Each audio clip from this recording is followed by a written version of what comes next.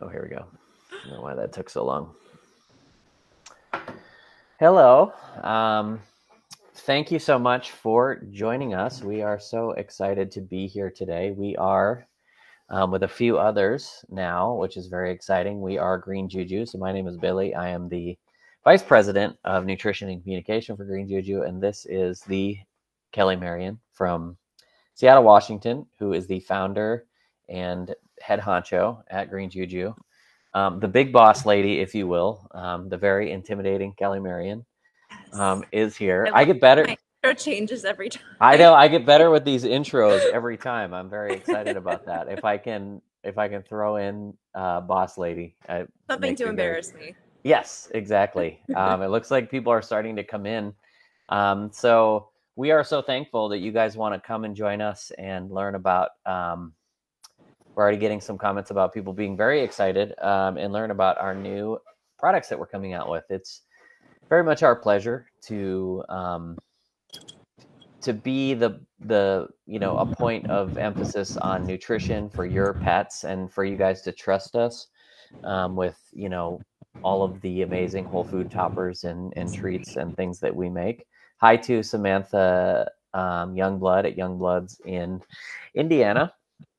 Um, so, by the way, say hi if you're here. Um, any guesses also in the comments is very um, exciting as well to for us to see if um, some of you guys are clued into what's going on here. So, um, so let's just go ahead and get started. So, um, wait. oh, somebody posted in the comments because on airplane with no sound. That's hilarious. Well, That's Taylor. Dead I'm glad you're on your plane because I know there were the there was a lot of issues today. So um, have a good flight. So thank you for joining us. Um, so let's go ahead and get started. So the first thing we're going to talk about is one of our existing products, which is one of my favorite products that we have, um, and that is and that is our bison liver trainers. This is a wonderful, wonderful single ingredient treat. Um, for those of you that know me, you know how much I love liver. Um, and Kelly, I think there was something you wanted to say about our bison liver treats um, before before we jump into some other things. Yeah, so we were talking earlier, and I was telling Billy that the bison liver trainers have been around longer than Billy has been a part of Green Juju. Um, I really wanted to do these bison liver trainers because bison is one of the proteins that Bambi, my current dog, and Bailey, my past dog, both did really well with. Um, and in my dog walking days, liver was a highly palatable treat. I could get dogs to do anything with liver. Um, and so bison liver was just a really appealing thing for uh, me to want to have as a product. And so I always viewed it as kind of a high value training treat. Um, but how long ago was it? Months? Year? Somewhere. Uh, yeah, like probably like six months ago. So like six months ago, um, Billy's new to the world of French bulldogs and learning that they are quite sensitive, and um, he was dealing with some issues with Huckleberry, and he told me that he started increasing the amount of bison liver that he was giving Huckleberry because the whole like feeds like concept of certain organs help support certain organs. So feeding liver will help support the liver. Um, and liver is where a lot of food sensitivities and toxins and stuff like that are processed. Um, so I just thought that was a really interesting way to look at this product because I had used it as a training treat before, but it actually does have a lot of, I mean, I knew it had a lot of nutri- nutrition value, but to use it in that way to help support a dog through a, um, you know, a time of distress and um, help support their health was something that I had not considered in that way. Yes, and the I feel like a lot of people consider the uh, like like helps like to be kind of like voodoo, but it's not. And the reason why is be- because the the it, the the easiest way to break that down is you know the bison's liver is made of the same stuff as your dog or cat's liver, and so it's going to feed those same nutrient profiles, you know, and it's going to be high. It's sort of like feeding heart is you know going to support the heart in terms of CoQ10 and some of those other, you know, relevant uh, nutrient profiles. So we love single ingredient treats. We love treats that um, uh, are wonderful for sensitive animals. We know there's a lot of animals out there that need, um, you know, a very limited ingredient profile. And so one of the main goals at Green Juju is to provide the healthiest versions of those very limited ingredient profiles. So um, I think for me that's been very exciting in being able to to do that. And I just love liver because liver is is you know the most nutrient dense food on the planet and so especially when you get it from a wonderful source well huckleberry's taking my headphones out so um, a wonderful source speak of the devil like um, 100% grass-fed bison which um, in this case is amazing so with this with the bison liver trainers in mind we are going to move on to the first new product which is what i'm sure everyone is here for um, so the first new product that we have currently going is he picked a really good time to uh, try to bite my hands and play with me. So, um, is our new salmon trainers. So it's funny the camera difference there in terms of uh, just the they're the same color, but the the camera makes them totally uh, yeah. different there. So these these are uh, our new salmon trainers. So they are one ingredient, which is why? Yeah, please do, um, because um, yours looks better. Uh, these are one ingredient, which is wild caught salmon. So, um, so they're um, Alaskan Alaskan wild caught sockeye salmon, which is um, particularly special to me because this is this is from the same the same distribution company that our local organic co-op store is supplied with. So this is literally the same stuff that we eat at home. It's just the smaller bits that aren't cut into the three or four inch fillets. Am I frozen? Yes, but you're frozen showing the product, so that's relevant. That's good. Um, so hopefully, um, so that's very very important because this is this is really um, the highest quality salmon on the market, and that's just kind of indicative of you know who we are and and how we go about. Um, there you go. how we go about um, sourcing products. And so, um, just so you guys know out there, one of the things I like to do when I'm talking about uh, feeding, you know, both my own dog and and building diets and nutrition profiles for dogs and cats is building nutrient profiles through food.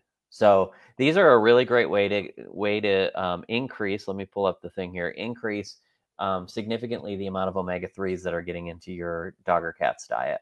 So um, you want to have a good omega 3 to 6 ratio, and each one of these treats on average is going to have about 15 milligrams of omega 3 uh, per treat. Now, you may be saying to yourself, um, but I add a supplement that has, you know, 1,000 milligrams. But this, for the first thing is this is actual whole food. And the second thing is, usually you're not feeding just one of these a day. So let's say you feed four or five a day, you know, you're training your dog. I know for me, when Huckleberry comes in uh, from going to the bathroom, uh, let you, you know my little system. If he comes back in with me just saying, "Hey, let's go inside," he gets a treat. If he goes pee, gets a treat, and if he goes poop, he gets a treat. So he gets up to three treats every time he comes in. Um, so, so, so there you go. That's 45 milligrams of omega three for Huckleberry right there. So, um, so again, just going back to the the sourcing on this, this is the actual fillet cuts. So you can see um, Kelly holding those up there that it is uh, a little bit different. So you're going to get different nutritional benefits from, say, our um, salmon blue, um, which are also which is also amazing quality. So these are for all of those uh, sensitive animals that can definitely do salmon. Anything else you want to say about the uh, salmon trainers? Uh, one question we already got um, is the variation between the bright orange and sometimes batches that are more gray and that's just the difference between how like big chunks of meat you have versus skin. Because when you have piece of salmon, it, when it goes to the tail, it gets thinner, right? So you have a bigger ratio of skin to meat. Hang on. So you're you're you're kind of cutting in and out. Oh, okay. Back. Yeah, you could try it. Kristen says just one treat per outside time. Uh well, there you go. Well, one treat is great as well. I mean, I don't want to say that, you know, my dog's happier than yours, Kristen, but it seems to be that he might be. So, um, just, Oh, I have to. So Kelly's going to be back in a second. Um, let me just uh, look at some of these. Uh, um, uh, Steph says we don't add fish oil in our blends, which uh, which is in a lot of blends. That is true. Um, hang on, we got to get you in here. One second. There you go. Okay. Um, can you hear me? Yeah. Okay. So what I was saying is that we've already had comments about how some of these are bright orange and some of them are more on the orange gray side. And the reason is that when you look at this, some pieces are all salmon and some of them are salmon and skin. And sometimes there's more skin.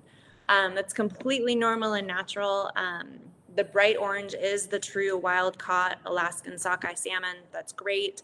The skin also has benefits to it. Um, you get a lot of the oils there. So normal natural variation, no problem also just on that note food produced in small batches that is of you know utmost quality will also have variation just generally so that's a good thing um, if your food or treats that you buy are 100% uniform every time it usually means that they're putting something in the treat to get them that way um, and it makes them more highly processed so you want there to be variation um, when it comes to those things so that is a very good point. So now we're going to move on to the second new item, which I think people are going to be really, really excited about. Um, and I think there's going to be a lot of uh, the greatest part about this is we make this stuff for you know sensitive animals, but it's not just sensitive animals; it's all animals.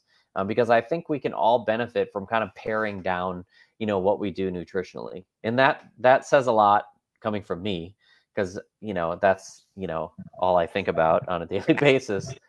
What's that? I said you're extra. so, but I I think you know I think it's a good a good lesson in that. So um, you notice we started with the bison liver trainers and we we went to the salmon trainers. Now we're gonna go to a third and new. Uh, you can pull that out there, okay, Kelly. Think about this first. Okay. Yeah. Okay. This is, I mean, of all the things we released, this is something that I am probably most excited for.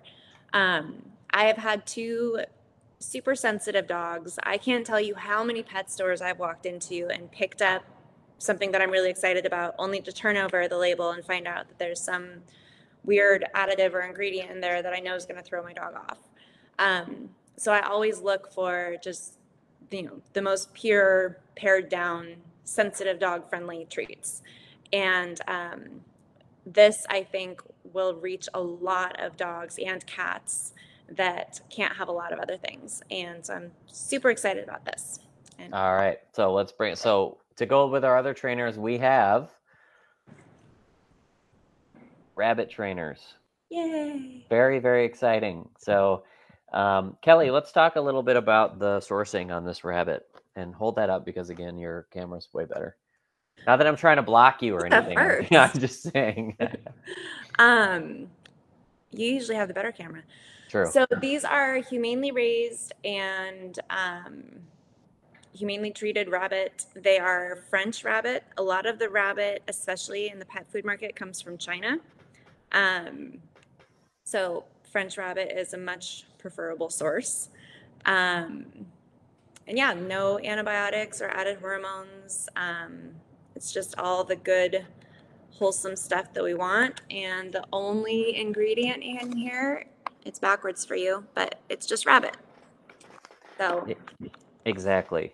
And um, rabbit, as a reminder, is a cooling protein. So we know there's a lot of uh, animals out there that deal in cooling proteins. I would say there are some, like my dog, uh, who deal in more warming proteins, like, for instance, the salmon.